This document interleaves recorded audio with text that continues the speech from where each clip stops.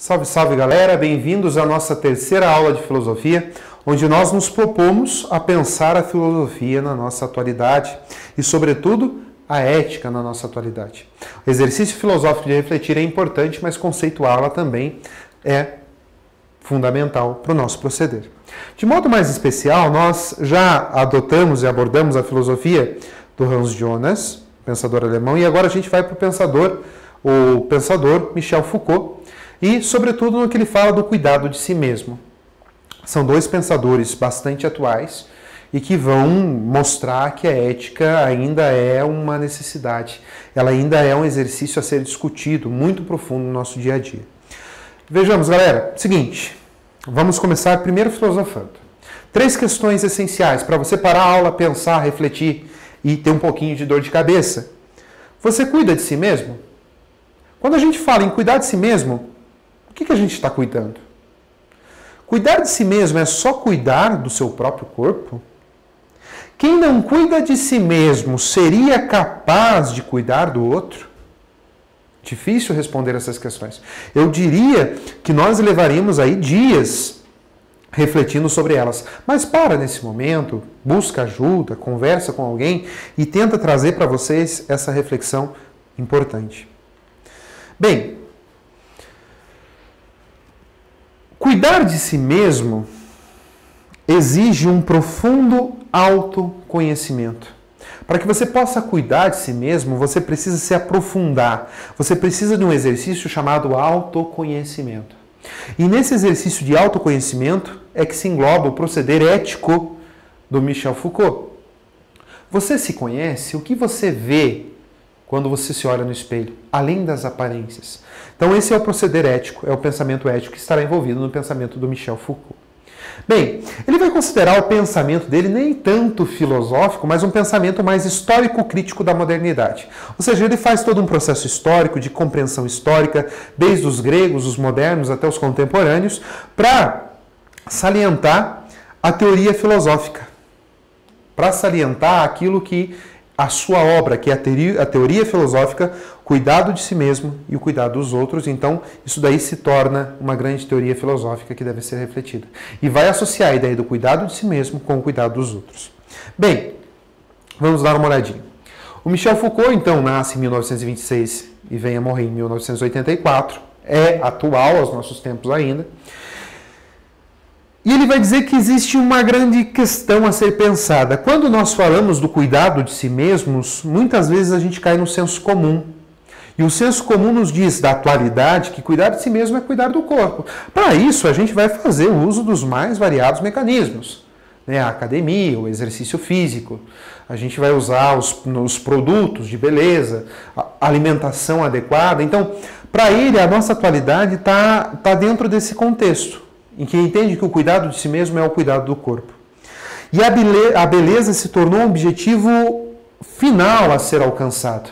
A, a ponto da gente desprezar aquilo que é feio, a ponto da gente menosprezar aquilo que não se enquadra dentro do contexto de belo. E é por isso que o belo vende. É por isso que existe um, um, forte apelo comercial na ideia do belo. Começa a observar as propagandas principalmente as propagandas de produtos de beleza. Ressalta-se o belo, enobrece-se o belo, como se nós tivéssemos um padrão de belo. Esse belo vai exigir sacrifícios. O cuidado de si mesmo na atualidade, esse entendimento que para ele é errado de cuidar somente de si mesmo, mas como ele falou, o papel dele não é refletir, mas apresentar aquilo que acontece na história, ele vai exigir sacrifício. Ou seja, ele vai exigir postura, ele vai exigir poder financeiro para que você possa cuidar de si mesmo, para que você possa ter, é, de repente, um, um exercício, uma atividade, ou fazer um procedimento estético. Mas a pergunta que a gente pode fazer e que não quer calar, por que nós buscamos esse padrão de beleza? Qual é quem deu esse padrão de beleza para gente? Será que ele é um padrão interno que provém de dentro ou é um padrão externo que nos é apresentado? Então, Michel Foucault começa justamente a fazer aí a sua leitura de mundo, o seu proceder histórico. Ele vai dizer que, de certa forma, a ideia de profundidade, de autoconhecimento, está ligado com a antiguidade. Né? Essa ideia do cuidado de si mesmo está profundamente ligada ao conhecimento que existia na antiguidade. Por quê? Na antiguidade, se a gente lembrar lá dos gregos, havia sempre uma luta interna contra os próprios desejos, anseios naturais. A gente sabe que para os gregos, lutar contra as paixões, os desejos, os instintos era importante. Havia uma carência muito grande de você se autocontrolar, uma carência de você se autodominar e um exercício de você dominar o seu próprio corpo e fazer com que a sua racionalidade, com o seu pensamento se tornasse um objetivo fundamental. A felicidade então não estava em aceitar o que o corpo queria, mas aquilo que a nossa alma desejava. A felicidade não era realizar o corpo, os nossos instintos naturais, ou aquilo que a nossa natureza solicitava, mas justamente em fazer aquilo que a minha razão mandava. E os desejos, os anseios, as paixões, elas atrapalhavam muito o desenvolvimento espiritual e racional dentro da antiguidade. Percebam que é isso que, que mais ou menos nós encontramos na nossa atualidade. É preferível cuidar do corpo porque é mais fácil. Então, Michel Foucault ele continua desenvolvendo e ele vai dizer o seguinte: ó, primeiro, para você poder cuidar de si mesmo, você precisa conhecer a si mesmo. Você precisa ver aquilo que você tem de errado, quais são os seus defeitos e aquilo que você quer corrigir. Você não vai a um salão de beleza sem saber aquilo que você quer fazer, sem saber aquilo que você vai te deixar mais belo. Então, por isso que esse cuidado é importante. Só que, sobretudo na atividade do autoconhecimento, é aqui que ele se aprofunda, ele vai além do campo estético, ele vai dizer o seguinte, ó, precisamos reconhecer as nossas próprias limitações, os nossos defeitos, os nossos aquilo que faz mal a nós mesmos. O ódio, a apatia, a indiferença, reconhecer que nós temos isso.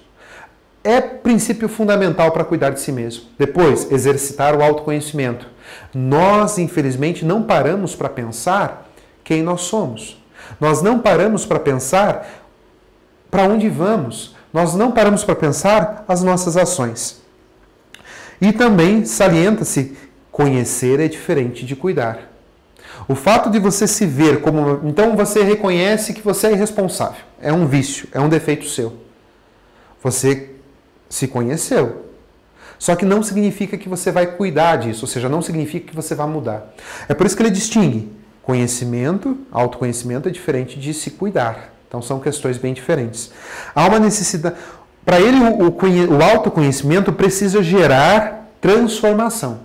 Quando você conhece um defeito seu e esse defeito, esse autoconhecimento gera uma transformação, aí sim as coisas elas começam a andar. Ou seja, eu preciso abandonar os meus defeitos e proporcionar mudança de vida. Isso é exercício de autoconhecimento. Agora pergunta que não, perguntas que não querem calar, afinal isso é uma aula de filosofia. Você se conhece? Quais são os seus defeitos? Você gostaria de mudar? Essas perguntas só podem provir, derivar de um alto exercício de autoconhecimento que você precisa fazer. Ou seja, conhecer-se a si mesmo exige, exige uma mudança, uma atitude. E se você conhece seus defeitos, qual quais de fato você quer mudar. Porque para cuidar de si mesmo, há uma necessidade de mudança. Para Michel Foucault, reconhecer os seus defeitos não é se cuidar. Precisamos transformá-lo, precisamos mudá-lo. Deixo para vocês a atividade, primeiro, de revisar a matéria, importante, sempre recorrendo ao nosso material didático, e ao mesmo tempo, estude a relação de conceitos da página 426. Ah, o estudo, a relação de conceitos, ela ajuda a organizar esses pensamentos pelos quais nós estamos passando e ajuda a sintetizar de modo mais profundo todos os conceitos que nos são muito importantes e é deles que nós podemos refletir. Eu agradeço a vocês e até a nossa próxima aula.